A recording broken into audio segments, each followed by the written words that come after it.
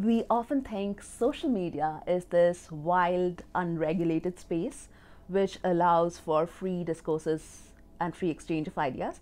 We, however, do not realize that there is a huge amount of censorship and regulation that's going on in this social media arena. This information came to light when companies such as Facebook, Google, and Twitter they started publishing something that's called the transparency reports, which are these huge data sets that have every single request that a country has made to these platforms listed and why they wanted these content to be taken down from social media. So these reports were published since 2010. When I looked at these reports, I realized after a very uh, a very preliminary analysis that United States and India are the two biggest requesters when it comes to removing content. These are also the two biggest democracies in the world, which guarantee freedom of speech through their constitution. And hence, it was really surprising to see that India and United States are the two biggest countries when it comes to content takedowns. Uh, a more closer look revealed that United States asks for content, uh, content takedown on the basis of defamation, and there have been several instances in which videos of police brutality were taken down because police officers alleged they were being defamed in a personal capacity. However, that was criticism and fair criticism and dissent. In India, a lot of content is taken down because politicians find them objectionable, such as caricatures or cartoons of them being circulated on social media. And so I finally looked at these instances that were of content that were removed and looked at the legal framework in these two countries to see uh, whether it was rightful of the government or the governmental agencies to ask these content to be taken down.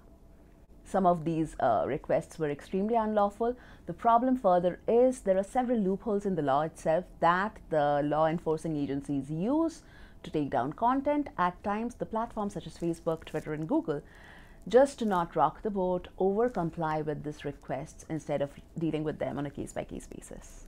YouTube is one of the most censored Google platforms. So it uh, so YouTube, uh, Blogger, and Google Search. I looked at those three under Google. It's interesting just to go over to the other side and deal with students now one on one in person, teaching more, and then really trying to manage time to scramble other things in, such as research or like service that you want to do and service that you have to do. So it's it's I think a huge learning curve that I'm on right now. I think getting to work with student, uh, running a student-led radio station for Western Kentucky University, the uh, Revolution 91.7 FM, has been one of the biggest uh, uh, high points in my last one year teaching. Just getting to produce shows once again with students, something that I used to do earlier as a radio producer in India. So when I went back to that radio station, it was just going back to my earlier working days as a radio producer. So that was like a big reconnection right there. So that was one of the uh, biggest joys. And then also like seeing student successes in front of you, students graduating, uh, that's that's amazing. Like seeing like even if i've been only there for a year there are certain students with who i have really built a strong connection. So seeing them graduate or their work getting rewarded um, all across like nationally we have students who have won the hearst awards this year. We have students who have won the uh, kentucky associated press awards. Just seeing them getting acknowledged for the work which we were also involved in gives uh, me a lot of pride winning the Scripps Innovation Challenge, that was a big high point within the first year of my doctoral program here. Um, a getting recognized was a big part of it, but more than the recognition, the prize, the entire process that we went through with my teammates to reach there, really problem, so, uh, problem solving, uh, finding an answer, then making the pitch. So that was a big high point in the first year.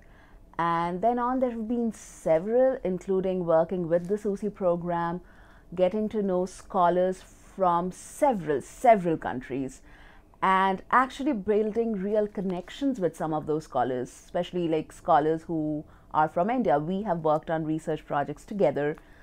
And then this time, when I went back to India after I graduated, I went to some of their colleges and conducted workshops in December.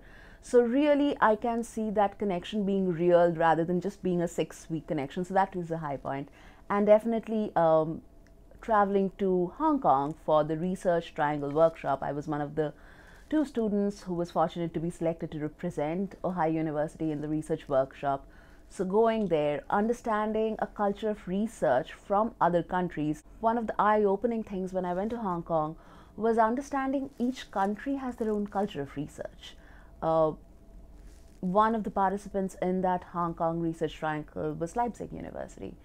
And it was interesting to see how philosophy and theory driven their research is versus, let's say, somebody who was presenting their work from Hong Kong Baptist University. It was a very data analysis focused research, somewhat similar to uh, the research culture that we have here in the United States, which I think is kind of a mix of both. But it was very interesting to just see all these uh, different perspectives come together in that research triangle workshop. One thing that I did was in the research uh, triangle workshop is present my own, or at least at that time it was only a part of my doctoral research, but presenting that in front of an audience definitely gave me a feedback how you should I should be incorporating maybe other literature into my research that really helped my research process per se, really defining and zeroing down on the key questions of my own dissertation. So that was beneficial for me. We were all assigned groups. And so I worked with Huda Usman Abdi, who I met at the conference at the Research Triangle Workshop, who was from Zhejiang University. And she and I, we both worked together on a paper. Her interest was uh, African cinema and Nollywood, which is Nigerian cinema to be specific, and the influences of the Indian movie industry in Nigerian films. And Bollywood and Indian movie industry is one of my core research interests, and we worked together on working on a paper that got accepted in the Global Fusion Conference in Philadelphia in 2016. So, uh, Huda, she couldn't travel during the conference, of course, but uh, I went ahead and presented our work, Nollywood Salad, there. However, she did come and visit me in Ohio later that year. So it was again wonderful hosting her, talking about research. She had just finished her dissertation at that point of time, so just celebrating that once again. So it was definitely a fruitful collaboration, and I think um, it really came down to how individuals wanted to work together. Maybe an entire group of eight people working together didn't really work because that was too big. But if you could even like identify one or two people who you worked with, which I think I did, probably that's the reason we had something that was uh, presentable and publishable in a research conference.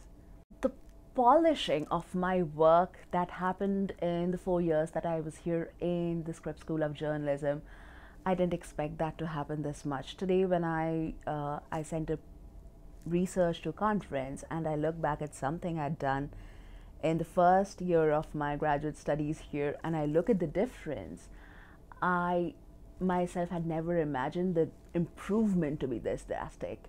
But very much working with the professors here, taking the coursework, writing, uh, going through the whole doctoral journey has got me to that point, which I think is a huge surprise to me. Like, now when I look back at my work and I think how rudimentary it was at that time to now it is it's probably still rudimentary but then there's a huge difference in what my output is now versus at that time I think that's that's a huge surprise to myself how much I have grown as a scholar here I think I would do a lot of the things that I did including uh, participating in the various opportunities that both Ohio University and the Scripps School of Journalism gave me.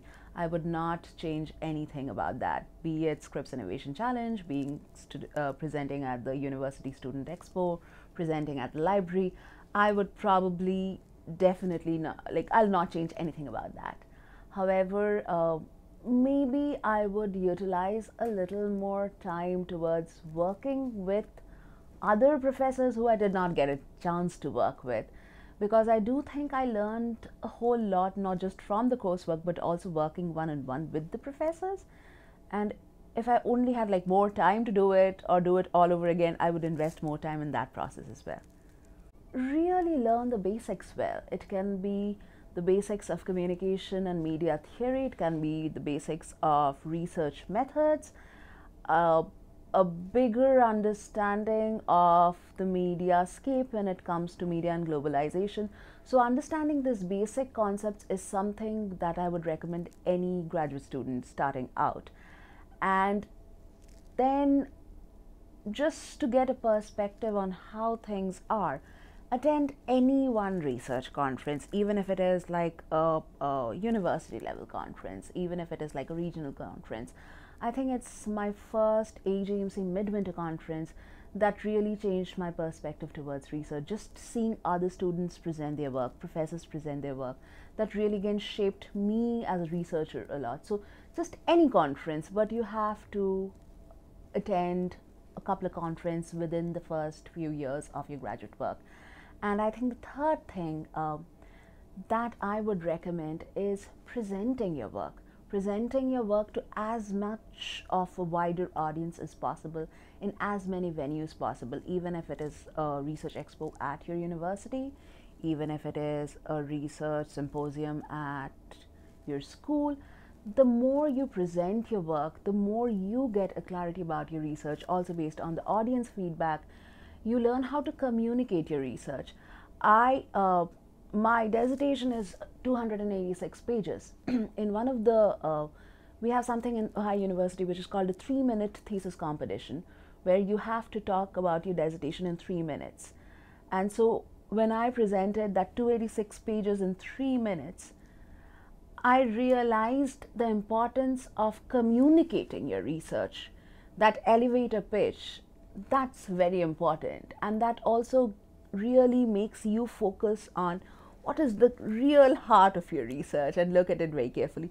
So, presenting your research as in front of different audiences is very important as a student. I did not realize how much this graduate school years or this doctoral journey is going to shape me as a person. That surprises me how I think now, how I react to things. I do not have immediate jerk reactions. I probably, if I hear about something, I have several more questions about it in my head. So I think this analytical approach that I have now developed towards issues, towards life in general, is something that my doctoral work has shaped me as a person.